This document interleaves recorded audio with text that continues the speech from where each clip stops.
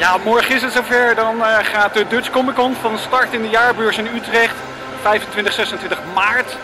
En eh, vandaag is de grote opbouwdag. En ik loop even snel door eh, alle hallen heen. Het zijn drie mega hallen vol met fantastisch mooie dingen. Iedereen is nu nog even lekker druk aan het opbouwen.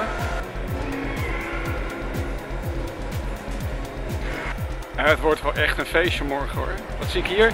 Grote stand van Apple. Ik zal even een draai maken. Dit is hal 1 hè. Let op.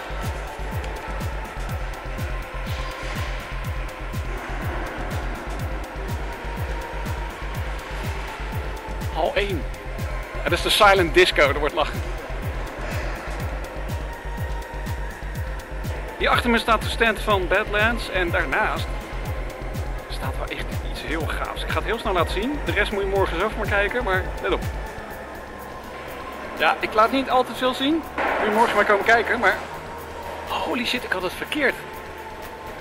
Er zijn helemaal geen drie hallen. Er zijn er vier. Ik heb hier gelukkig even de plattegrond gevonden. Kan ik het even aanwijzen? Kijk, ik dacht, kijk, hier, daar sta ik met mijn steentje. Dat is de, gewoon de grote, grotere hal met alle stands en merchandise. En dan heb je hier de, de stands van alle bekende tv-series, Marvel, Fox, AMC staat daar. Dan heb je vervolgens de cosplay area, dat is dan hal 3. En dan moet je kijken in hal 4, kan je ook nog eens een keer helemaal uit je plaat gaan met gamen. Ik baal zo dat ik in mijn eigen steentje moet staan. Maar ik denk dat ik morgen gewoon dicht ga om dit te kunnen zien. Want dit is het feestje van House of Wax.